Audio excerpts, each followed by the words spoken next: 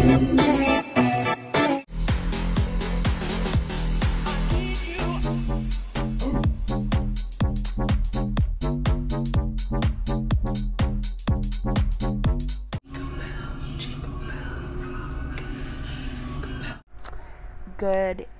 afternoon, good day, Merry fucking Christmas Eve.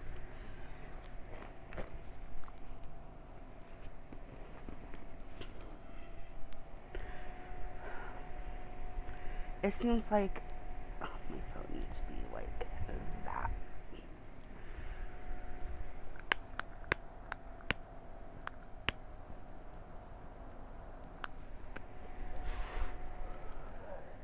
A three.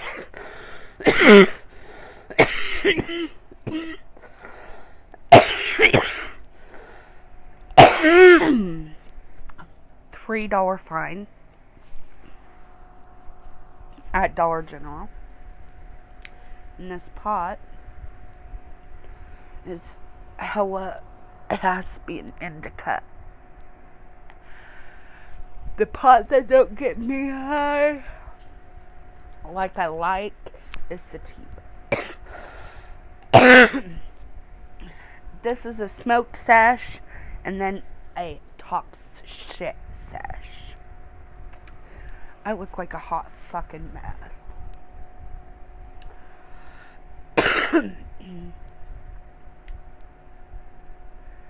How to look good.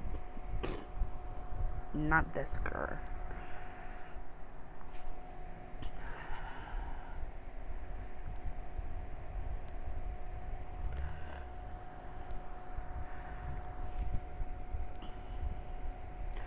So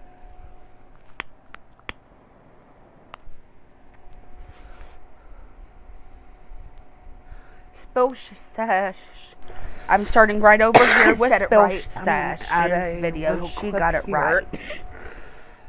no tea in the parts that Hot Tea had in her video, and the podcast clips were so short, and it was really just like a lot of commentary. So Trisha legit just striked her channel, and on YouTube, there's no way to kind of get it reviewed by someone that works at YouTube so that you can get some like justice or for someone to be like, hey, this isn't right. Like, that doesn't happen. So, Hot Tea literally got striked because Trisha was upset at her, and it's just such a ridiculous situation. But Trisha put this statement in her YouTube video basically saying, don't be lazy, think of your own content, or be creative. Straight up stealing is illegal. And I think Trisha needs to inform herself on fair use content because she kept saying this girl was getting 300,000 views per video and she was just stealing her content. It's not like Hot Tea was re uploading Trisha Paytas videos and calling them her own. Like, that's not what she was doing at all. Like, she wasn't getting views because she was uploading. To be quite fucking honest.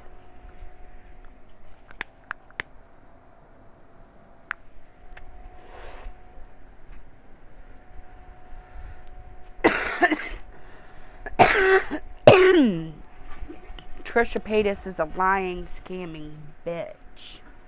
And she needs to refund Hot Teas fucking $500 Instagram shout out from her Patreon.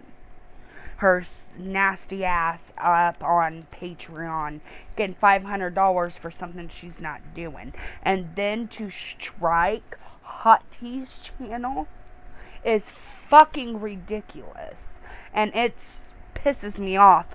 This bitch named Trasha Paytas gets away with everything. It seems like as long as you're a big YouTuber, you can be whatever you want and it's okay. And it's really on my fucking nerves.